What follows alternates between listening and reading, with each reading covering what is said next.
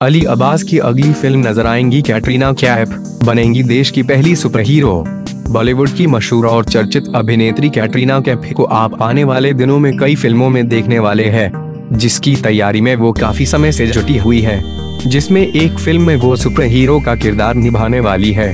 जी हाँ, आपको बता दें कि कैटरीना कैफ बॉलीवुड के मशहूर डायरेक्टर अली अब्बास ज़फ़र की अगली फ़िल्म में नज़र आने वाली है, जिसमें उनका किरदार एक सुपर हीरो वाला होने जा रहा है। अली अब्बास ज़फ़र पिछले काफ़ी समय से एक भारतीय सुपर हीरो पर आधारित एक फ़िल्म का निर्माण करना चाहते थे, लेकिन इस पर काम नहीं हो रहा था। हालाँकि अब वो अपनी पहली ऐसी ही फ़िल्म की तैयारी शुरू करने जा रहे हैं।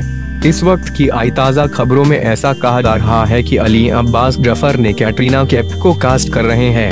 फ़िल्म में कैटरीना एक सुपर हीरो के किरदार में दिखाई देने वाली है। लेकिन यहाँ पर सबसे हैरान करने वाली बात यह है कि कैटरीना कैफ की इस फ़िल्म में कोई भी मेल कलाकार नहीं होगा। यानी फ़िल्म में कैटरीना कैफ ही हीरो होंगी और हीरोइन भी होगी। इसका मतलब ये तय है कि फ़िल्म का पूरा भार सिर्फ़ और सिर्फ़ कैटरीना कैफ के कंधों पर ही टिका है। अगर फ़िल्म फ्लॉप हुई तो इसका पूरा श्रेय कैटरीना कैफ को जाएगा और अगर हिट हुई तो भी। फ़िल्म में कोई मेल कलाकार नहीं होगा। इस बात का खुलासा खुद अली ने एक बार एक खास बातचीत में किया था।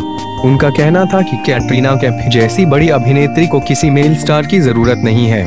खैर, कैटरीना इसके अलावा कई फ़िल्मों में दिखाई देने वाली है, जिसमें उनकी सलमान खान के साथ टाइगर तीन है और अक्षय कुमार की फ़िल्म सूर्यवंशी में भी नज़र आएँगी, जो रिलीज़ के लिए पूरी तरह से तैयार है।